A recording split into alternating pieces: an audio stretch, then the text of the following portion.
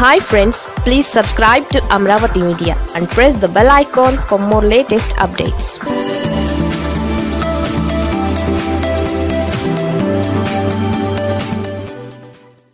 Vizag బీచ్లో అనాథలా కనిపించిన మహిళ.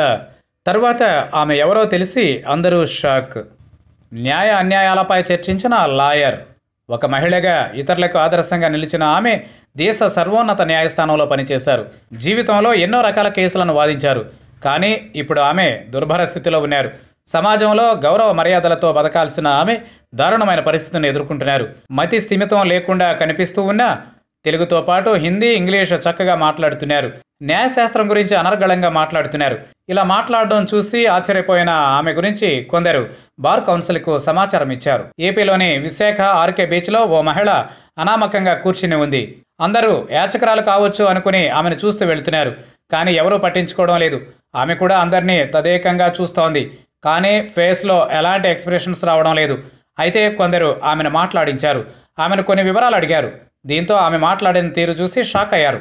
తెలుగుతో పాటు హిందీ ఇంగ్లీష్లో అనర్గళంగా సమాధానం ఇచ్చారు చివరికి తన దగ్గర ఉన్న గుర్తింపు కార్డు చూపించారు.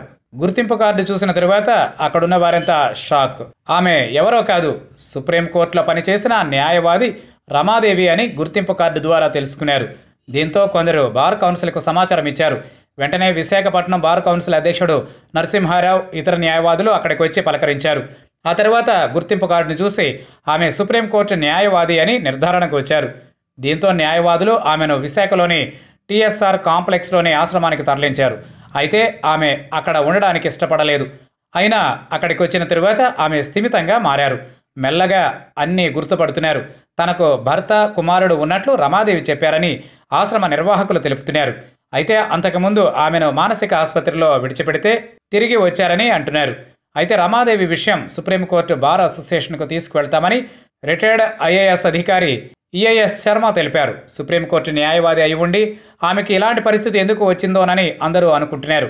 అయితే ఆమె చెప్పిన వివరాల ప్రకారం ఆమె ఇలా మారడానికి కారణం ఏంటో తెలుసుకునేందుకు ప్రయత్నిస్తున్నారు. పైకి మతి స్థిమితం లేకుండా కనిపిస్తున్నా ఆమె పలు భాషల్లో మాట్లాడడం చూసి ఆశ్చర్యపోతున్నారు. మరోవైపు న్యాయశాస్త్రం గురించి అనర్గళంగా మాట్లాడడం చూస్తూ ఉంటే ఆమె పలు కేసుల వాదనలో ప్రావీణ్యం పొందినట్లు తెలుస్తోంది. అయితే ఆమె ఏ ప్రాంతానికి చెందినవారో తెలుసుకునే ప్రయత్నం చేస్తున్నారు.